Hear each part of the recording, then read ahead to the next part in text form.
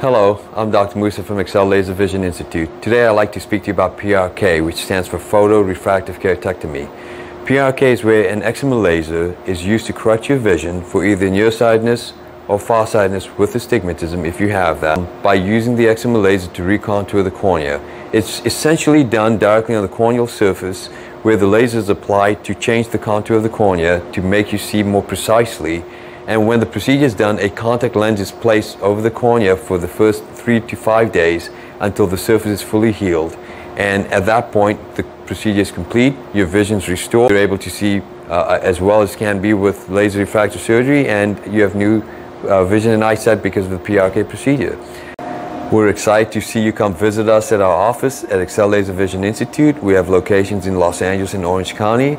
Um, one of the great ex uh, experiences you can have is a free comprehensive eye exam that's of no cost to you, but a consultation for LASIK that will establish your candidacy. We look forward to seeing you in the near future.